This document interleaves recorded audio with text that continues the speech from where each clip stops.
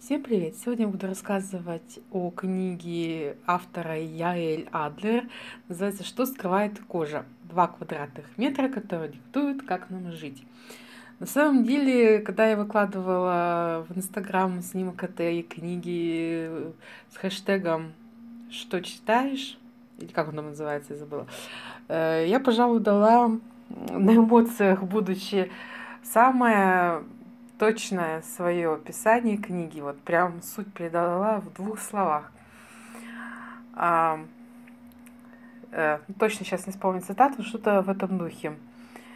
Книга потрясающе интересная, но моя жизнь никогда не будет такой, как прежде, потому что она перевернула в корне все мои представления, в соответствии с которыми я, взяла, я жила всю свою жизнь.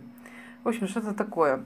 И действительно, книга полностью соответствует этим словам, потому что вы можете смело послать ко всем чертям, э, во все места, куда солнце луч не проникает, все свои представления об уходе за кожей. Собственно, вы будете смеяться, но это все, что я хотела сказать об этой книге.